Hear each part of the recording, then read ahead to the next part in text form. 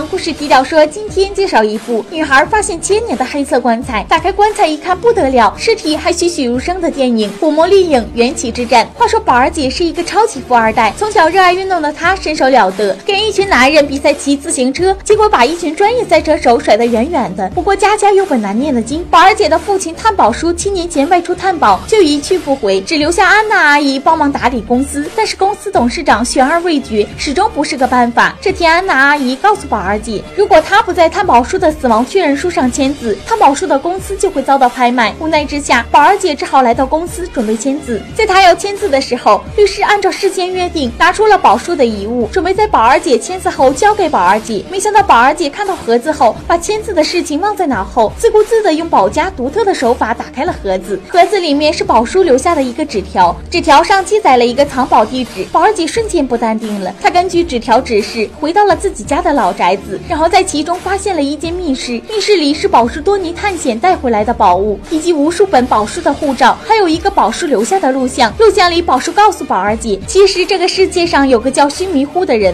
是传说中的神，残害了无数人。后来有人将他封印在了岛国的一个小岛上，他希望宝儿姐看完就把关于须弥呼的资料全部销毁。宝儿姐却没有这么做，反而拿着宝叔的笔记本准备前往小岛寻找失踪多年的父亲。很快，宝儿姐根据父亲留下的记录，找到了当年载着父亲探险的渔船以及船长彦祖。通过彦祖，宝儿姐知道宝儿姐前往的无人小岛叫做写马台。在宝儿姐的努力下，最终彦祖答应载宝儿姐再去一次写马台。结果快到写马台的时候，他们遇到了海上风暴，船只失事，宝儿姐和彦祖都被卷入风浪中。宝儿姐好不容易爬上海岸，却被一伙神秘人打晕。等到宝儿姐再次醒来，她见到了大反派胡子哥。胡子哥表示，其实我认识你爹宝叔，我们都是通过宝叔来到这个岛上的。不过宝叔神秘失踪，我们正一筹莫展，你就送来了你爹的笔记本，帮我们找到了线索。为了表示感谢呢，我就安排你去工地搬石头，开不开心，激不激动？在笔记本的帮助下，很快胡子哥就确定了须弥呼的封印地址，然后就是声势浩大的搬石头、挖墓穴。身手矫健的宝儿姐就趁看守不注意逃走，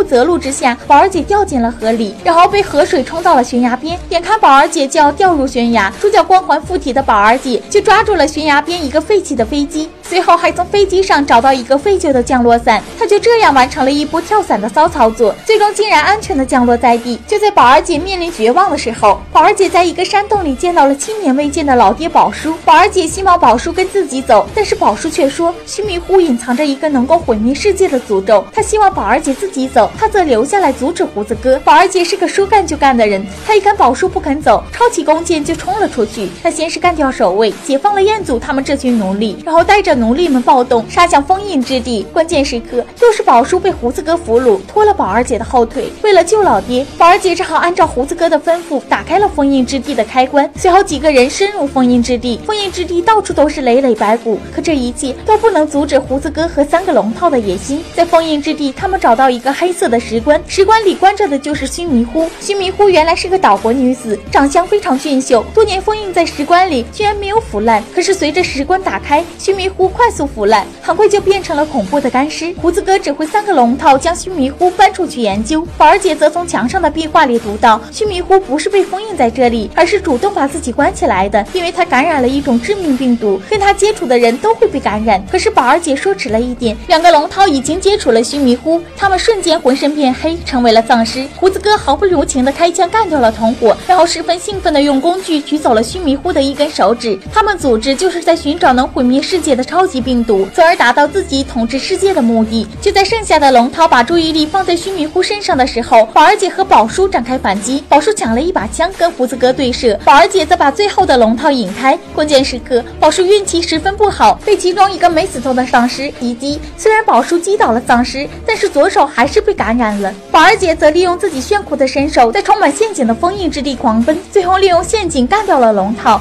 就在宝叔遇袭的时候，胡子哥趁机带着手指逃了出去。宝叔则正在逐步上石化，眼看自己就要领盒饭，宝叔还是跟宝儿姐说，让他取回手指拯救世界，他则留下用炸弹把封印之地再次埋葬。在宝叔的鼓励下，宝儿姐追上了跑到门口的胡子哥，并且跟胡子哥展开决斗。可是宝儿姐却被胡子哥按倒在地，眼看就要丢掉性命。关键时刻炸弹引爆，吸引了胡子哥的注意力，宝儿姐也趁此反击，抢过须弥糊的手指，塞进了胡子哥的嘴里。随后胡子哥开始迅速变身，最终被宝儿姐一脚踹倒在白湖之地。爆炸引发了封印之地的坍塌，在主角光魂的帮助下，宝儿姐成功从天花板跑了出去。最后，彦祖将宝儿姐送回了谷，而宝儿姐也终于答应在宝叔的死亡确认书上签字，因为他的老爹真的领了盒饭。自此，全剧中这部电影告诉我们，有了钱还是多搞搞慈善活动。考古盗墓这种刺激的运动，大家还是不要随便玩。好啦，今天的电影就说到这里，喜欢我就关注我，我们下期再见。